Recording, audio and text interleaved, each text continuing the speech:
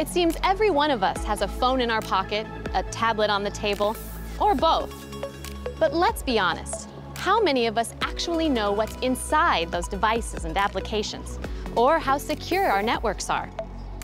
Mobile means access to information anytime, from anywhere, from any device. But who's thinking about mobile security? DHS S&T.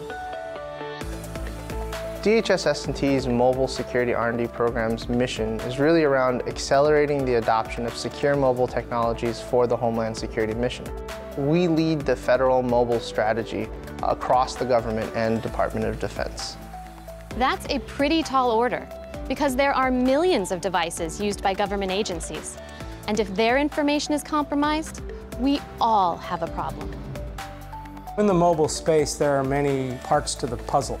There is infrastructure, where we're working with commercial providers to try to help them improve that. There is the device itself, and then the applications and the software that runs on your phone. Fortunately, S&T gets it. They literally wrote the book on improving mobile security for our entire government and also provide the expertise to make a difference now. The mission of FEMA is to help people before, during, and after the disaster. Mobility and the relationship between FEMA and S&T is vitally important. They have been a valued partner from a perspective of bringing us tools and technologies that are relevant and important to the way that we deliver our mission. The DHS study on mobile device security is the Bible on the subject. We reference it constantly. One of the real-world successes that DHS S&T has helped us with is in the area of application vetting.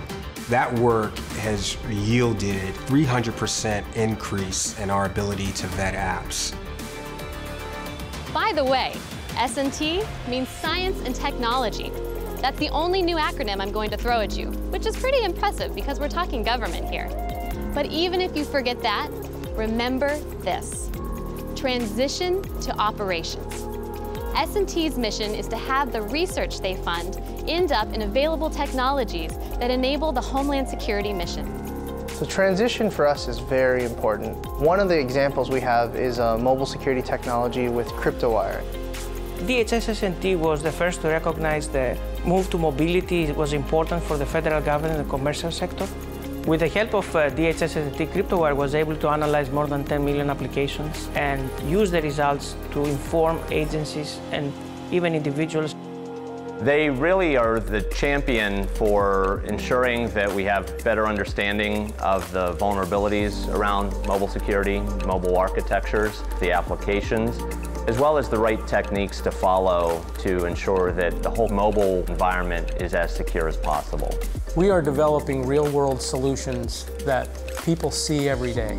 It impacts their lives from a security standpoint, and we're pretty excited about the fact that we do that, and it's important for our nation and our world.